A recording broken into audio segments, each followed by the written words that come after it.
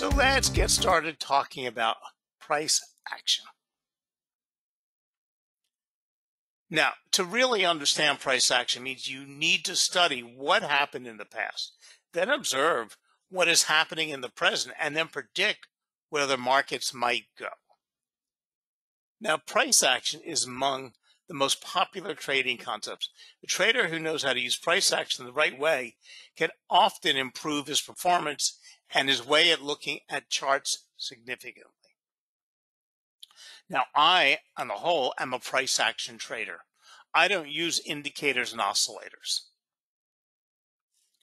Now, however, there's still a lot of misunderstanding and half truths circulating that confuse traders and set them up for failure.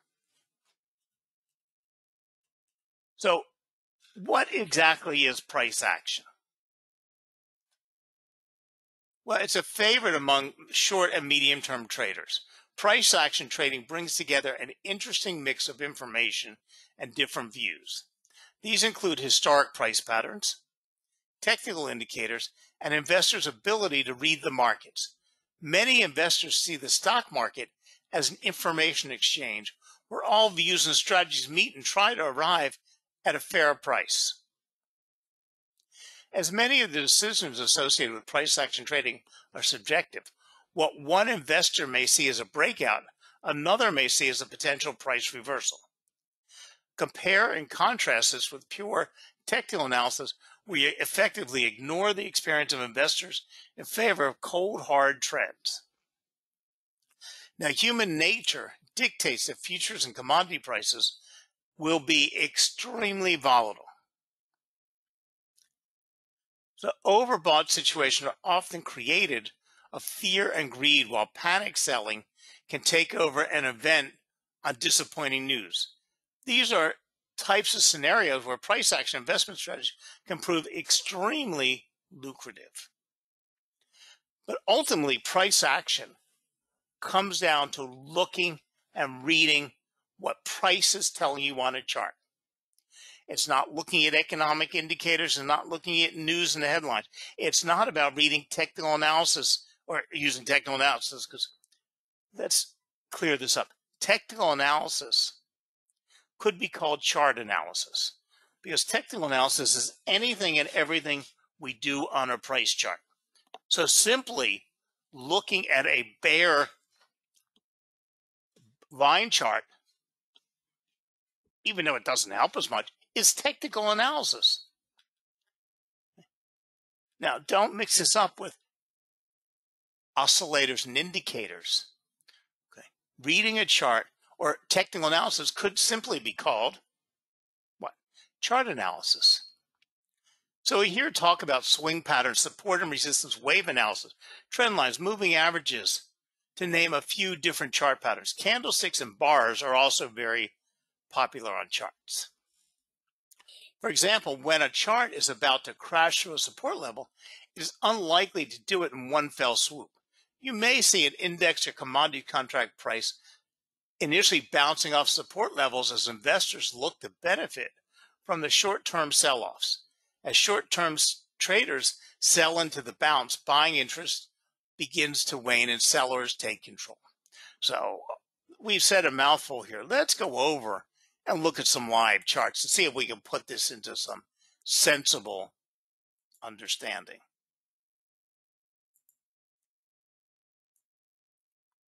Okay, right here we're looking at a live chart for the Euro New Zealand dollar. Now I've highlighted on here a couple things that have happened. Okay, we see price coming down here on the right hand, left hand side after it's coming down off of a, a significant, it's coming down a significant downtrend we can see the price bounced down here and then reversed. It bottomed out. Then it moved back up, reversed back down, made some hit some minor resistance and moved back up. Okay. That's all easy to observe on a chart, especially after the fact. But how do we observe this on our chart and make some sense out of it, especially when we're looking to trade this way. What happened back here? doesn't really help us much. Even what happened here doesn't help us much because we can only make our trades based on what's happening now.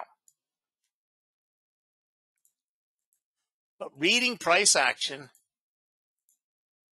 and reading your chart is ultimately what's important. Now, here on this Bitcoin chart, now we can see Bitcoin was relatively low back here.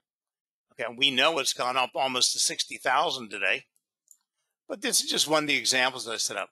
Now, all of these blue, purple dotted lines, gold lines on the chart are levels of support and resistance. These lines are drawn on our charts based on historic movement. Actually, let me open a chart and see. Let's take a look at my uh, low chart layout. Let's go to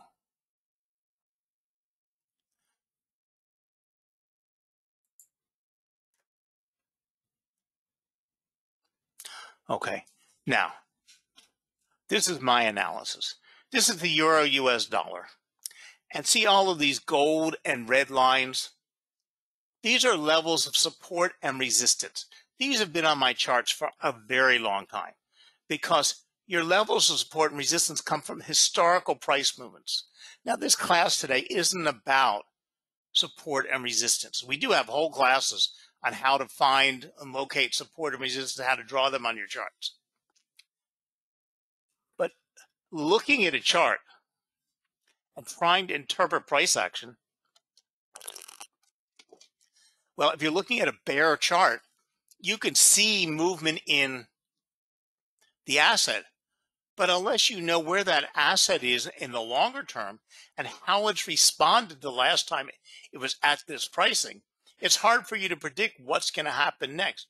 Because, like here, we saw the euro US dollar all the way down here. Now, that's about the lowest it's been in, in a while. Now, the lowest the euro US dollar has been is about 106. And that was significantly a while ago when the ECB was flooding the markets. But if we look at now, these are my own personal codings.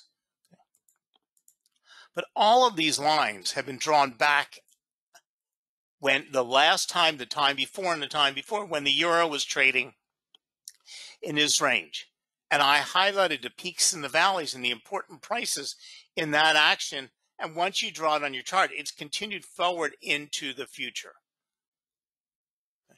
And these lines, these prices, or these levels, are important anytime the price is around that level. What this red line is up here is unimportant because price isn't there. What's only important to us are these. So these levels are not important because what we're concerned with is where we are today. But this helps us evaluating where we think the euro US dollar would go by simply looking at our chart and reading price action. Because we could see as price came down, let's go away from last week, and we can see here that this 117,726 was a very important bottom for the euro.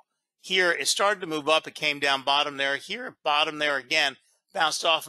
So this tells us by looking simply looking at our price that the 117.725 is a very significant price level. And where do we see this? We see this by interpreting the price action on our charts. So if we see price coming back down to trade at this range, we're going to look to see what that price does as it comes down here. Now, at this price down here, 117.6, I mean, I probably would buy. And then we'll look at that price to bounce off here and come back up to the 118. But it's had a very serious problem for a while at 118 because the US dollar has been quite strong. Now this is using support and resistance. Now I have dashed lines, I have dotted lines, I have red lines, I have thick lines, I have thin lines, I have blue lines, I have gold lines. These are my own personal color codes. They tell me how long ago, how important that line was, which was a major level, which was a minor level. And I need, you know, it's like a key to a map, a roadmap. You need to know what those keys are, but the keys are personal. Mine aren't published. You need to develop your own system. Then when we move away from just simply looking at support and resistance levels, we also come to chart patterns.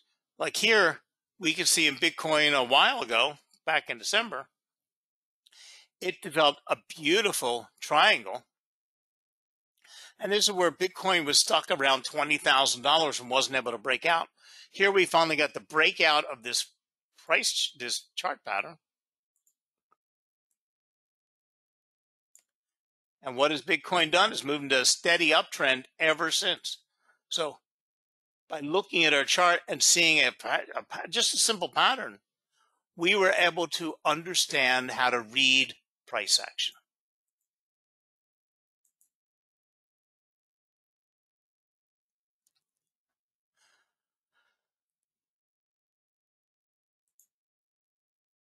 Because now it's really easy for me to explain all this in clean cut charts.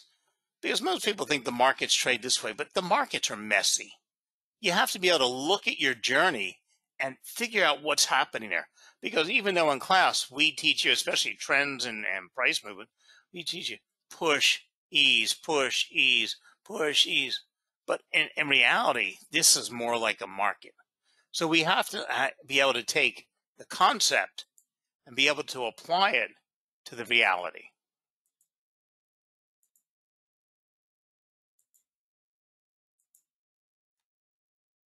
But sometimes price moves in beautiful stepping motions.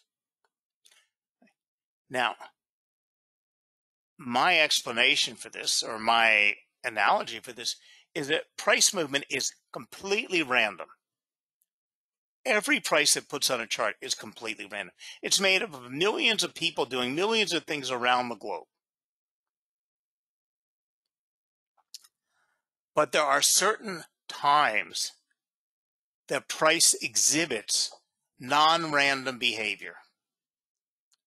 And these are considered trends. And when we are exist we are exhibiting this non-random behavior, we can then apply some simple understanding of rules to make smart, high probability trading action. Because if you look at my teaching diagram and then look at the reality, what do we have? We had a beautiful push, ease, push, ease, push, ease, higher highs and higher lows. Now, granted, this doesn't happen quite often. It doesn't happen all the time. But in my world of trading, these are the only trades I ever execute because I only want high probability trades. So when I can look and see what my chart is telling me, and I can read that. I use the rest to find entry points and exit points, but I don't use it anything else to make trading decisions.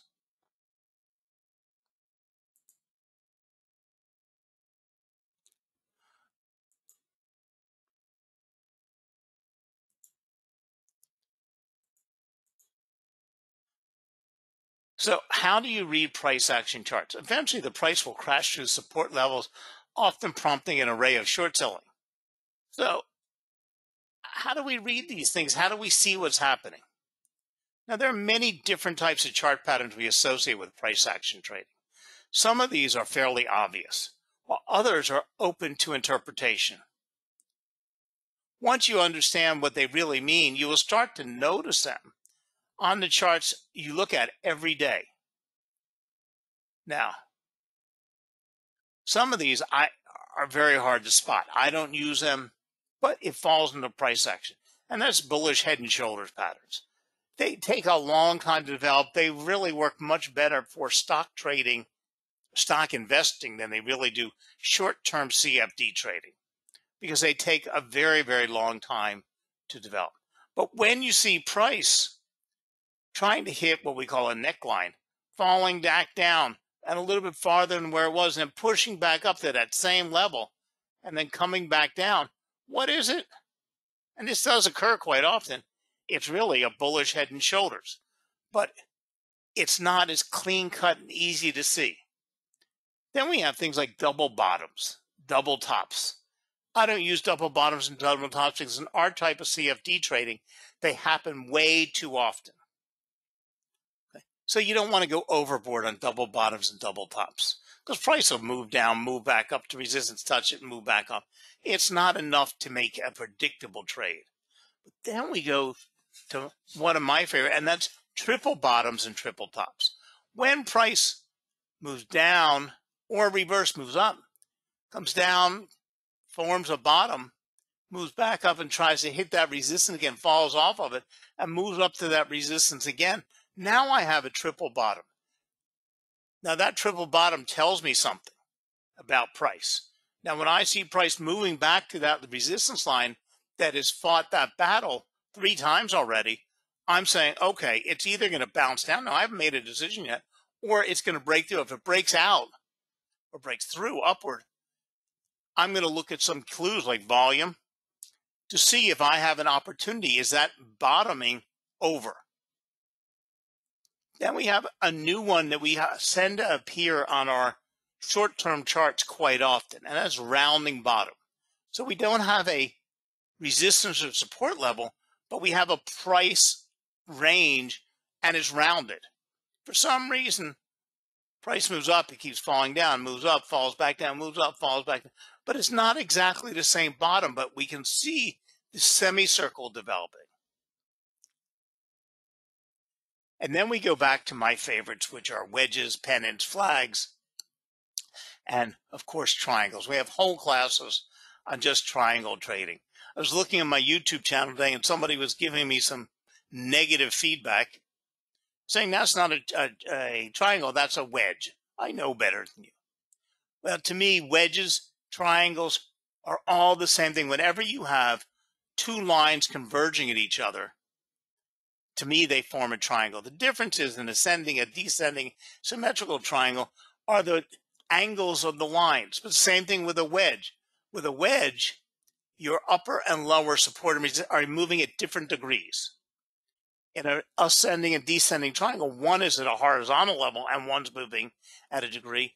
And a symmetrical triangle, both the the the out the points of the rectangle are moving at the same degree. I don't really care because I don't care about the tendency. I don't care about the characteristic because I can only be that I'm a price action trader. I don't care about any of it. I care about seeing the breakout of price. I'm waiting for price to tell me what it's going to do. So the key to any successful price action trading strategy is to remove the peripheral noise, such as fundamental data, and look at price patterns, trends, and other forms of technical analysis. When combined with good old fashioned experience and a feel for the market, we combine with this to create very successful strategies. Don't forget, even if you open a position based on any of the following price action trading strategies, you can also use the technical data to set stop loss limits and target points. Because regardless of what you're doing, you have to calculate your risk management, follow your risk management rules, take your risk reward ratio to even decide whether you can even make that trade. So one of the key aspects of price action trading when using support and resistance levels is the fact that once a support level is breached, it can turn into resistance or vice versa.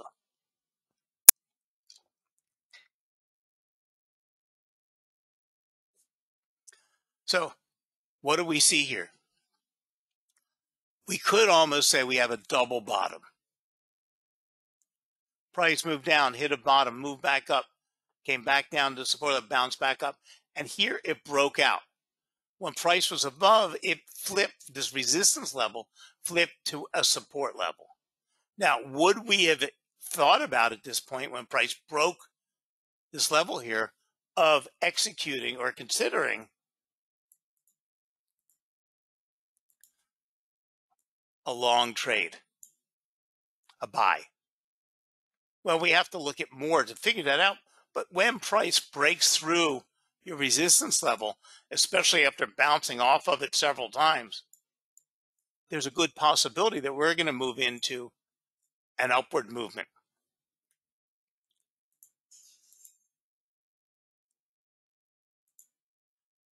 One of the best ways to do this is to look for specific patterns in your charts. Indecision candles is one great strategy. Pin bar and inside bar combos are another. The pin bar and inside bar combo pattern is seen by many as one of the most powerful technical indicators. If you look towards the start of the chart, you can see an exchange rate bouncing off. Okay, so here we go.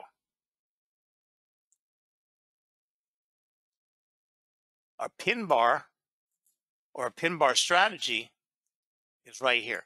Price broke through our support level, went up to resistance, came back down, and what do we got? We got the exhibition of three down candles, each with long pins, and we got an inside bar here which meant this whole bar was inside of the previous bar. And now we got our definite buy scenario. So this was the breakout we saw before. Ease back down. The support level held.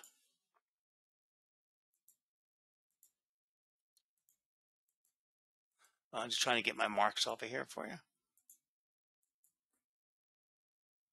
So many price action traders are extremely vigilant.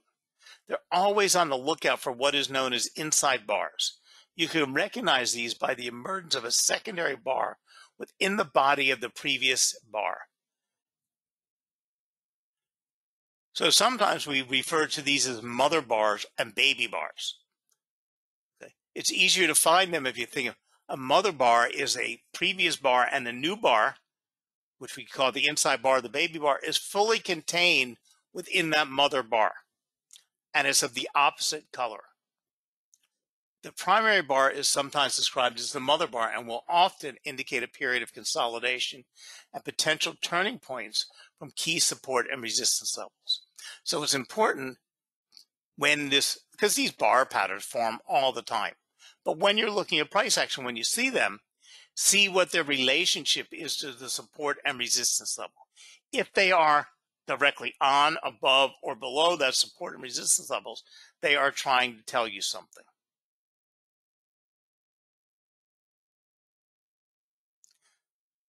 So it is only when you take the time to understand how bar patterns emerge and what they indicate that you you can position your trades. Don't forget, you also have to keep one eye on your stop loss limits and your risk management. So as you gather from all the information, price action trading is based around trends and momentum. The idea is simple. Once a trend changes, then the momentum often grows. It is only when a stronger or an opposing trend emerges that the direction changes again. In between these relatively strong trends, there are periods of consolidation, sideways trading action, and price will often bounce off support and resistance levels. In re reality, price spends most of the time in congestion. Price spends the least amount of time in what we can define as a trend. Because you can move up without having a trend. Price can be moving sideways, bounce up, move up, you know, a couple points, and then just start moving sideways again. It really ne it never formed any trend.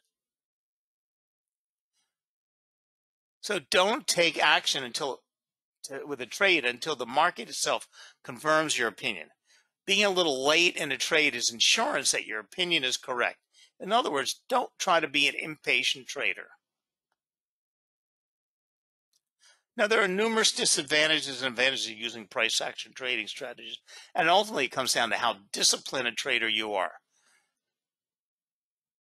Some of these advantage, disadvantages, and I noted to you earlier, is I'm a price action trader. I only take high probability trades, but I may only get a handful of trades in a whole week.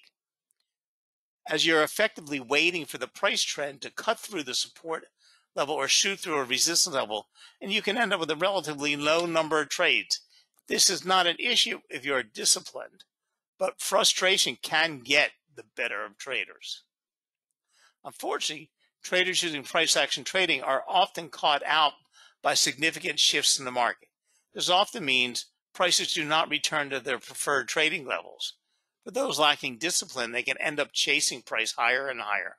Meanwhile, for those who are able to remain focused on the technical situation, opportunities will emerge. Many of the strategies we mention above be overcautious while waiting for a definitive change in trend. There will be times when interday prices could spike above resistance or below support. But this is why we have multiple trading strategies.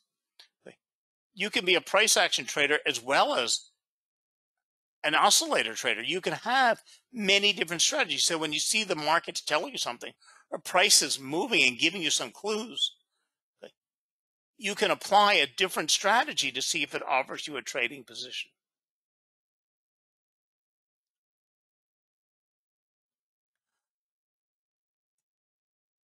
So as we touched, while price action trading is based on technical analysis and reading of the situation, it's not always cut and dry. A lot of times after hitting a new high, an exchange rate will fall back as a result of profit taking. This is a rule of thumb. When price moves up, there's always going to be a point where buyers or sellers say, I'm going to put my profit in my pocket. It means the price will ease back down. Doesn't mean it's reversing. But don't get shifted into the scenario just because people are taking profit. The price is going to fall in reverse. One of my key clues to everything is volume. Low volume tells me to go away. It means price is stuck. So what's the difference between price action and technical analysis? The basic difference is that price action incorporates both technical analysis and human input. Effectively, you are monitoring emerging trades and reading these with varying degrees of discipline and experience. In other words, it gives you the freedom to set your own set of rules. While there's a degree of human input with regards to price action trading, there's also a need to be disciplined, and even if you marginally miss out on several trades. The idea is blunt. When the turning point occurs and momentum builds, for a new trend, you will be there. So keep in mind price action. Price action is one of the simplest ways to trade, but you always need to develop your risk reward ratios, your target prices, and stop losses. Don't chase the trades, let the trades chase you. So thank you very much for joining us tonight. Have a great weekend. And whatever holidays you celebrate, enjoy the spring holidays. Bye now.